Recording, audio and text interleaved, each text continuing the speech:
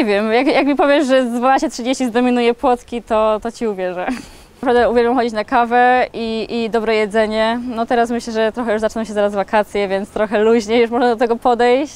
Często zmieniam zeszyty, jak e, nigdy ich nie kończę, bo mówię, nie, ten zeszyt mi się już nie podoba, sezon minął, coś tam.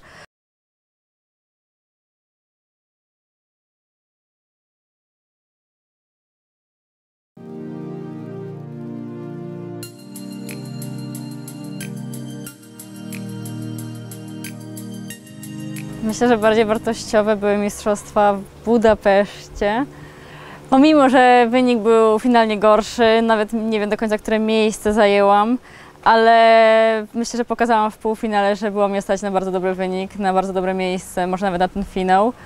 E, I w tym roku na pewno jechałam z innym nastawieniem na te Mistrzostwa Świata i zrobiłam co mogłam. Biegłam, odważyłam się biec na ryzyku, odważyłam się biec odważnie. I, I pomimo tego, że nie, nie satysfakcjonuje mnie ten wynik aż tak, to, to i tak to było bardzo dobre. Po Mistrzostwach Europy, po zdobyciu złota, bieganie na poziomie 12,50, to faktycznie miałam wysokie cele na 2023. Zaczęłam świetnie sezon halowy, ale go nie spełniłam tak jak go chciałam, bo prawie zrobiłam rekord polski. Myślę, że te wyniki były nawet na, mogłam liczyć na, nawet na jeszcze coś więcej. I faktycznie doznałam tej kontuzji, zerwałam mięsień dwugłowy i miałam operację. Yy, więc no, nagle byłam w szoku i dowiedziałam się, że no, no na hajt na pewno nie wystartuję, bo, bo potrzebna będzie operacja i nie wiadomo jak sezonem letnim. Więc faktycznie z tego miejsca teraz, gdzie biegam, mam na razie wynik 12,59 w tym sezonie, no jestem w czołówce światowej i teraz się już przyzwyczaiłam i dla mnie to jest mało, a tak naprawdę pół roku temu mogłabym nie myśleć o tym starcie w ogóle. E, więc faktycznie no, cieszę się z tego, jak wyszłam, jak wyszłam w zdrowiu, jak zadbałam o to wszystko i to mi dało dużo. Dużo się dowiedziałam, czego potrzebuję, co potrzebuję zmienić w treningu, co potrzebuję wzmocnić, więc myślę, że to był wartościowy rok pomimo takich e, problemów.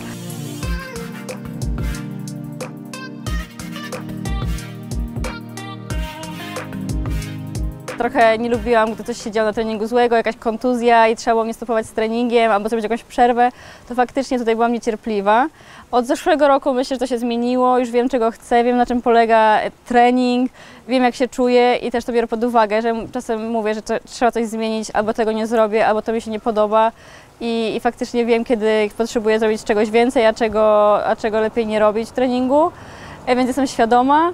E, z drugiej strony też nie jestem Jestem cierpliwa, ale to nie jest tak, że ja chcę to zostawić na za 5 lat i wtedy być w formie życia, tylko wykorzystuję wszystko, co mogę w danym sezonie e, i raczej po prostu z każdym rokiem coś dodawać, ale myślę, że idziemy na maksa. No, trzeba ten swój czas wykorzystywać w sporcie, bo jest jednak e, krótki. I, I to, że mam 22 lata i wszyscy ciągle mówią, że jestem jeszcze młodziutka. Ciekawe, kiedy to się skończy. Mam nadzieję, że, że jeszcze tak z 10 lat będą mówić. e, ale no raczej wiem, jakie są moje możliwości. E, może niektórzy wątpią, że mogę biegać e, na poziomie rekordu Polski, ale, ale ja w to wierzę.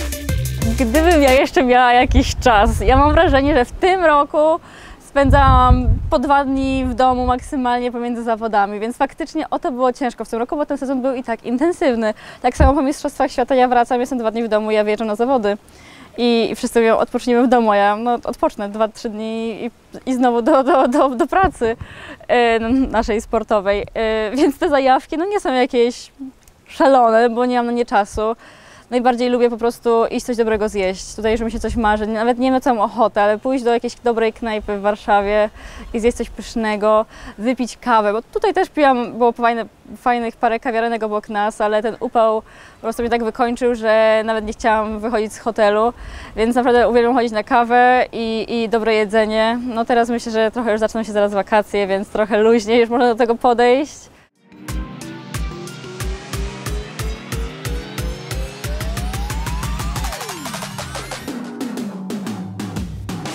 to myślę, że ludzie tego nienawidzą, bo toniku nie lubią często i maczy nie lubią.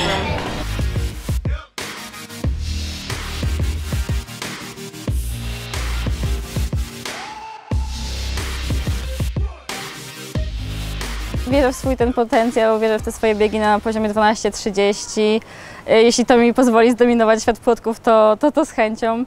E, Za 5 lat już będą igrzyska w Los Angeles, więc e, tutaj Paryż za rok, za te kolejne kilka lat Los Angeles. Więc faktycznie, no ciekawe co się wydarzy, nawet jestem po prostu ciekawa, jak to będzie wyglądać wszystko, bo jednak poziom z roku na rok uważam, że wzrasta i to w, praktycznie w każdej konkurencji lekkoatletycznej. Mm, myślę, że jest to możliwe, chciałabym to zdominować, ale dlatego szukamy tych różnych nowości w treningach, jakichś detali, no. To, ten rok też pokazał mi, że właśnie wszystko się może wydarzyć i nagle może ci się wszystko zmienić w treningu, zatrzymać i kontuzje, więc trzeba się tego wyzbywać i, i szukać lepszych rozwiązań, żeby jednak trenować w zdrowiu. No, konkurencja płotkarska jest jednak no, dosyć, dosyć trudna, kontuzyjna, asymetryczna, więc tutaj naprawdę jest no, ten balans pomiędzy regeneracją, zdrowiem, a, a bieganiem płotków musi być zachowany. I no nie wiem, jak, jak mi powiesz, że z 12.30 zdominuje płotki, to, to ci uwierzę. Ja jestem teraz social media ninja dla niej. Odejdź stąd. Teraz mam specjalny materiał, którego mi pewnie będziesz zazdrościł. Widzisz? Masz taki? To jest tak jak mężczyźni się zazwyczaj przedstawiają, jak kamery wskazują na nich, a dziewczyny tylko. Albo Mogę wymieniać. Jak mnie zapytacie, co sobie wypisałam w moich mocnych stronach przed Mistrzostwami Świata, to znajdziecie tam parę kartek w zeszycie, ale to właśnie dzięki mojej pracy z moją psycholożką, e, więc mam dużo mocnych stron.